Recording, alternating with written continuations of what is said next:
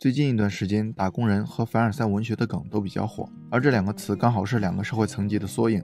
前者是广大打工者的自嘲，后者则是富人通过先抑后扬、欲拒还迎的反差描述，大秀优越感。有个富二代巧妙将二者结合在一起，利用打工人的身份做凡尔赛的秀，果然火得一塌糊涂，成功的站在了风口浪尖。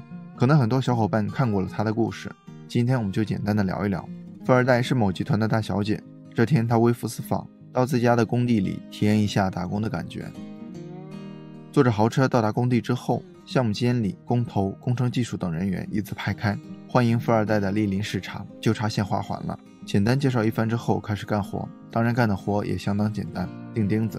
剩下的时间基本都在秀他的凡尔赛文学高度，比如干活前吐槽安全帽太大，目的是表达自己的脸小；比如干着活说完工后要让他爸把这一户留给他，因为他在这里钉了钉子；再比如干完活面对工地的伙食毫无食欲，还让对面的工友帮他吃掉剩饭。你以为这样就结束了吗？好戏竟然还在后头。下班了，工头给他发了两百块钱的薪水，没想到他那几颗钉子的身价也暴涨了。当然，这还不是最重要的，他通过视频给自己的余额做了个特写。入账两百块，余额一千五百四十九万。大家终于明白，原来这才是彩蛋。这波凡尔赛秀得绝妙无比，前期的铺垫已然惊喜不断，最后这个暴击更是将气氛轰到了高潮。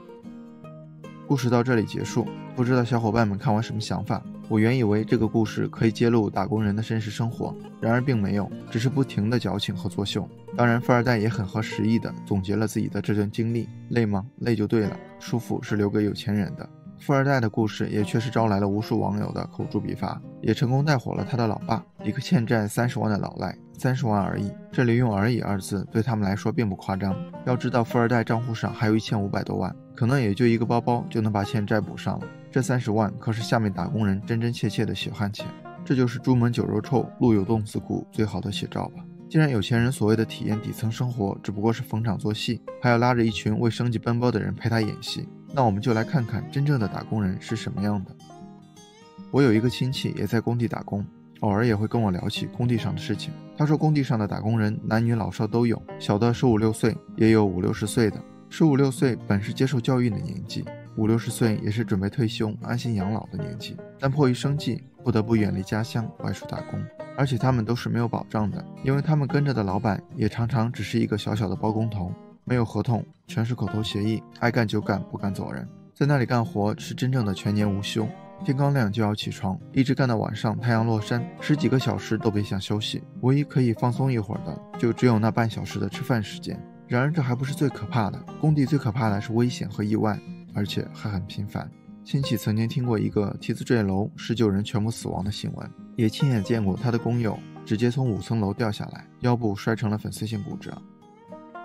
很多人并不知道，工地上还有一个工作叫工地水鬼，就是有些机器的钻头非常昂贵，掉入泥浆里面捞不上来，必须人工下去寻找。这是一个赚钱的行当，当然也是拿命换钱的行当。我曾经看到过一个网友的评论，他说朋友去年为了挣那两万块钱下井捞钻头塌方了，施工方叫来了他的老婆孩子，跟他们谈好价格八十万后，割了氧气管，直接灌满混凝土。他才二十八岁，他说的朋友就是被俗称为工地水鬼的人。下去再上来就能挣两万块，下去上不来能挣八十万块。网络上有一组纪实摄影，名字叫“活着”。这位大爷，别人都叫他老三，六十岁，每天卸货三百吨，每吨六毛钱。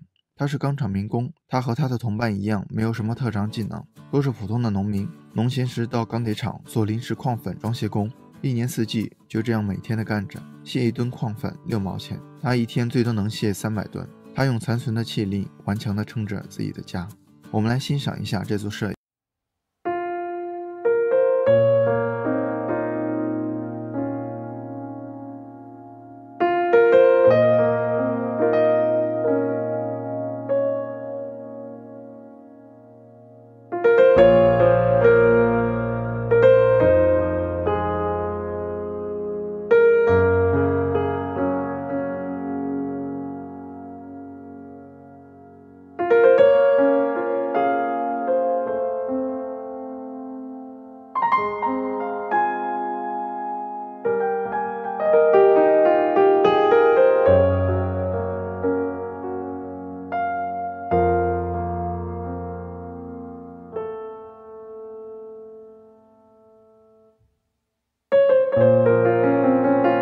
有的人光是活着就已经竭尽全力，这句话不是所有人都能体会到的。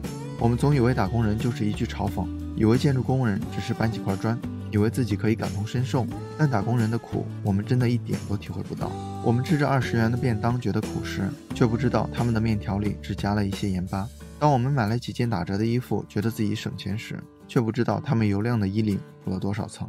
我们根本不知道“打工人”这几个字的背后浸透了多少血泪，包含了多少悲苦。记得几年前看过一个新闻，做这期视频前，我又特意找了一下，在新疆打工的农民工邢万强，过年需要乘坐四十多个小时回河南老家。乘务人员问他车上怎么吃饭时，他说了一句话，让人瞬间泪目：“咋吃？车上吃方便面，反正方便面吃吃完了，没事，反正晚上。”不干活的时候吃不吃饭都可以，怕人不怕掉。刚刚我饭里有跟他打过架。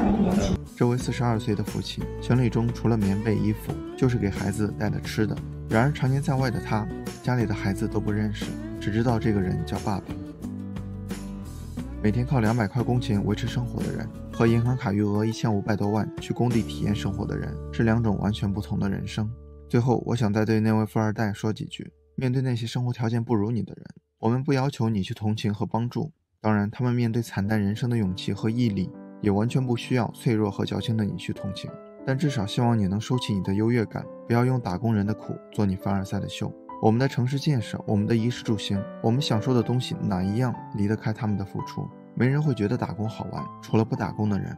你一边享受着底层人民的劳动成果，还一边嘲笑他们的样子不够高级，却不知道自己的样子才低级到令人作呕。虽然富二代有几十万粉丝，但网友们的三观比五官更正。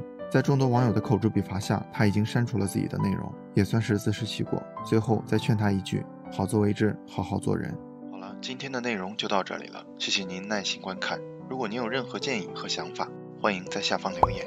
如果您喜欢星河的内容，还望订阅星河百度频道，点赞和分享给更多的朋友。星河将不胜感激，继续分享更多有关成长的优质内容。一个人可以走多远，关键在于与谁同行。愿成长之路有你我相伴。这里是星河百度，我们下期不见不散。